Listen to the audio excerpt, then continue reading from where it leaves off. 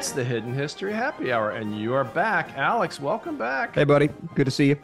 Yeah, great to see you. I have had a little bit of a of a momentous week because one of my favorite subjects, as you know, unidentified flying objects, flying saucers, UAPs, are back in the news, which we're going to oh, talk about gosh, in a minute. Yes, you had congressional evidence about it, didn't you?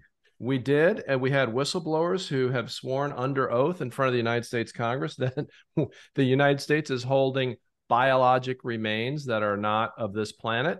And uh, it's a thing. And I'm kind of proud of my grandparents for uh, pointing this out 70 years ago. And there's a British angle to this story we'll get to in a minute. But Alex, you know what UFOs typically don't have? Tell me. Wings. Ah, good intro to the story I wanted to tell today. I didn't even see it coming. That's embarrassing. Uh, so the story is called Flying Without Wings. Um, May 1957, the U.S. Uh, Marine Fighter Squadron issued with F-8 Crusaders, which was the first time that your uh, Marines had their own supersonic fighter jets.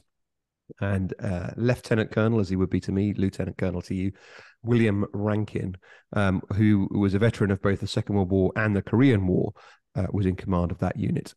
And he and um, colleague uh, Lieutenant Nolan took two of these uh, F8s up on a training flight, and they were flying out of Massachusetts um, to South Carolina on what was meant to be a routine flight. I stress meant to be.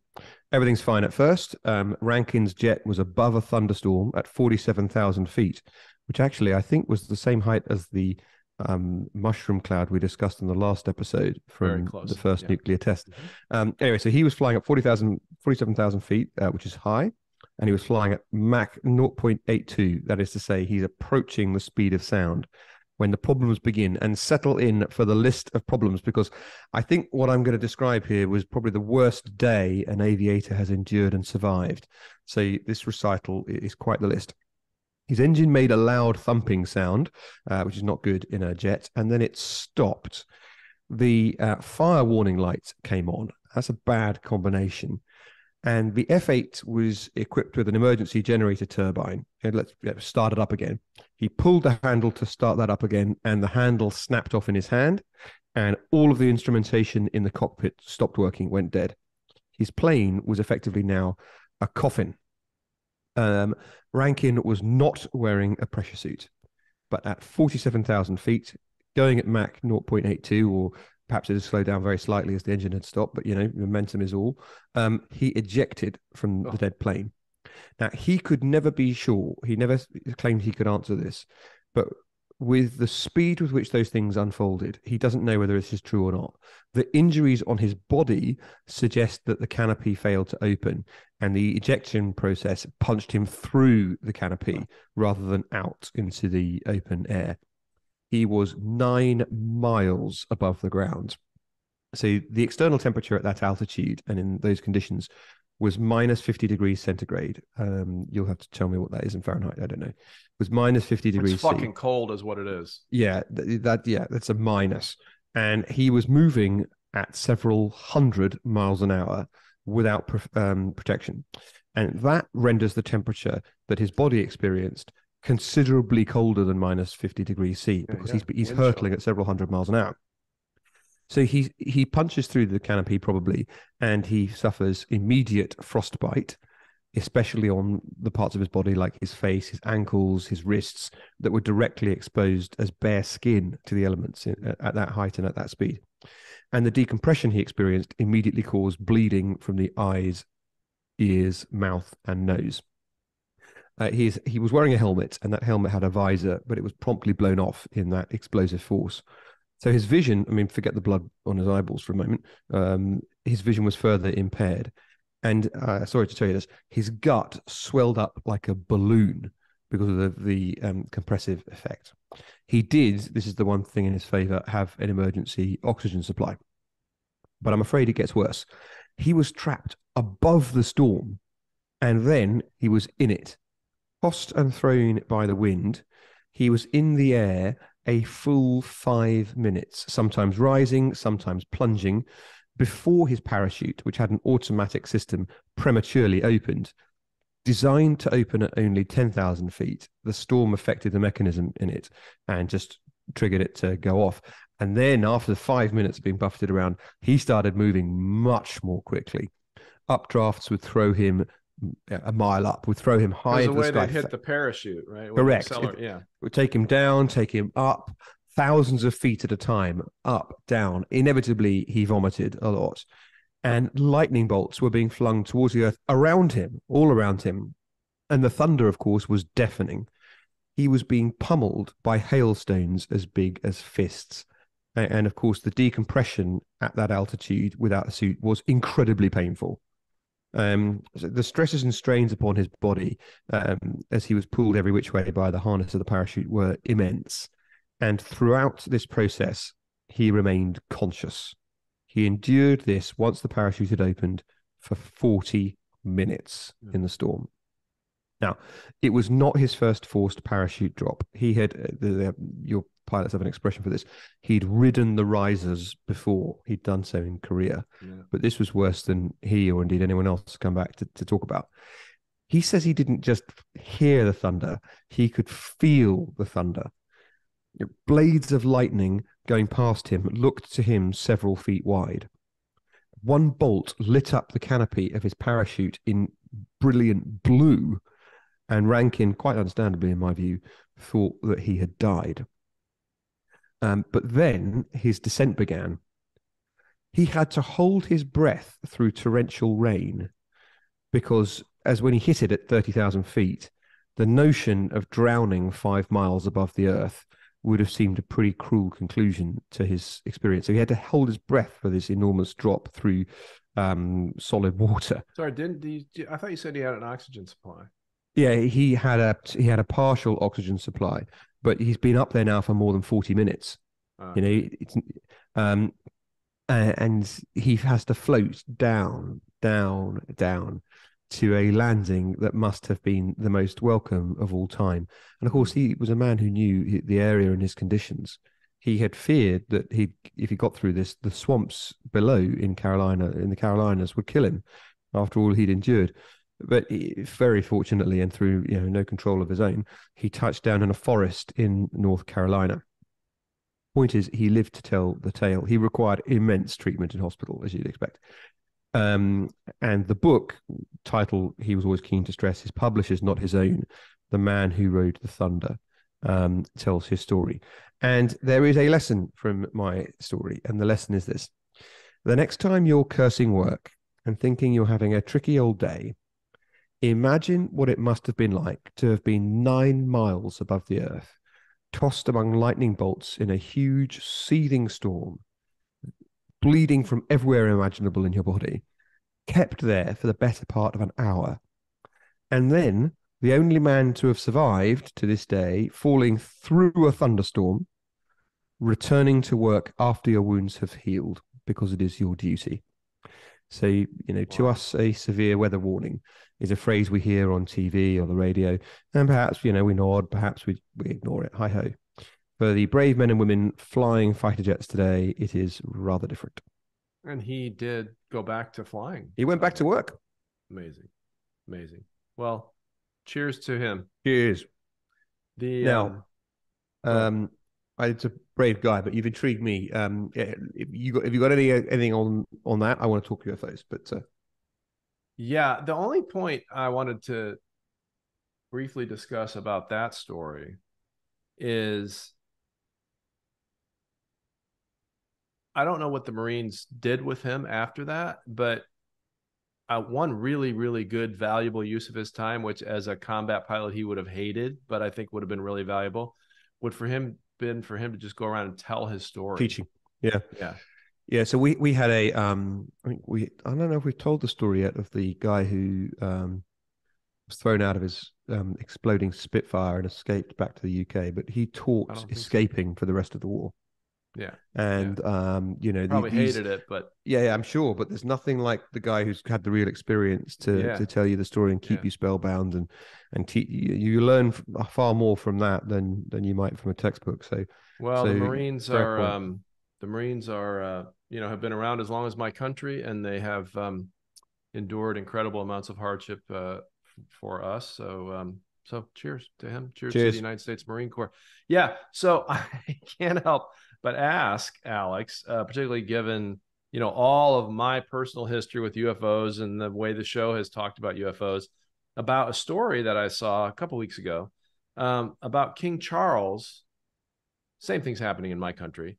King Charles being under pressure to call on the government to release more information about UFOs. But here's the there's two twists to the British version of the story that aren't true here.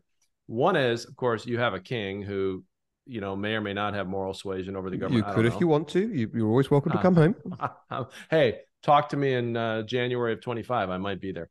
Um, but secondly, uh, unlike the discussion in my country, the story I read said that part of the pressure on him to release this information is in order to, and now I'm quoting, help Britain prepare for the country's first contact with aliens. So, do you guys know something we don't? I mean, you had the Foo Fighters. We've talked about them on the show. You were ahead of us on UFOs. Is King Charles sitting on something or what? I doubt it very much. Um, I've always loved the idea that there's a vast conspiracy able to be much more competent than any other branch of government has dem- demonstrated itself to be hitherto um, in keeping these facts from us. In fact, the, uh, you know, I have to think about well, maybe the Singaporean government, but I don't think the rest of us have got the ability to hold uh, hold things together. I mean, China. maybe in its more authoritarian periods, Israel, but you know, I there aren't that many countries that have a government small enough, trust based enough, and tight lipped enough um, to keep these things a secret. Let alone, I mean, the temptation to say to somebody in pillow talk, "My God, darling, you wouldn't believe what I know," um, and, and then that gets out. I just, I, I, I think purely statistically, given the number of galaxies there are in the universe, and we're discovering new galaxies all the time. Yeah, yeah. Not new stars, not new planets, new galaxies are being discovered by um, telescopes. Then the, the sheer number of galaxies that there are in the universe, the notion that we are alone as intelligent life in the universe, for me seems statistically absurd to the point of um, be, being indefensible. But the equally the idea, given the immense gaps in distances in space and so forth, the idea that they have come to Earth is not a sure thing, and the idea that they, we know about it and have it have hidden it somehow, I think, seems rather silly. But What I'm interested, what I wanted to ask you about your um, biological material, did was the suggestion in those hearings that it had come on meteorites, or that it was the origin of it unexplained? Well, it was vague, and a lot of times the witnesses said, you know, we can talk about more about X, Y, or Z in classified session. But the clear, so there were three witnesses. Two were pretty buttoned down, you know, military scientists saying, yeah, there's stuff we can't explain, but we're skeptics. And the third guy was just, he was all in.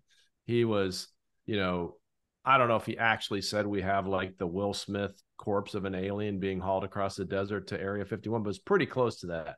And he's the one that was asked the question uh, Is the United States government in possession of non terrestrial biologics?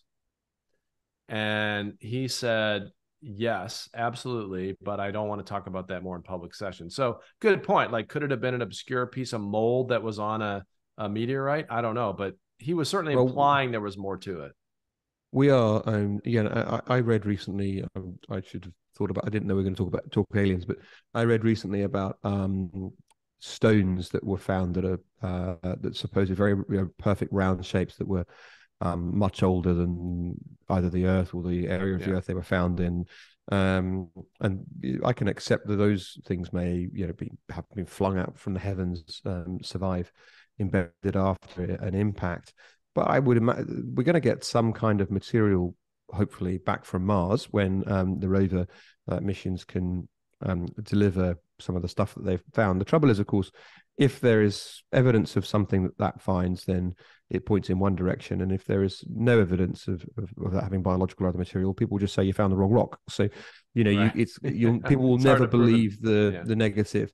Um, well, to that point, um, I probably have done this before on our show, but you know, we got a lot of new fans, so I'm going to, at the risk of being repetitive, remind everybody about the experience I had on the night before the 50th anniversary of the Kennedy assassination.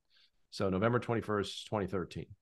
I was giving a speech in uh, in Minnesota at the University of Minnesota, and then there was a panel discussion afterwards. And the the whole point of the panel discussion was the CIA and classification of information and declassification of public's right to know and all that.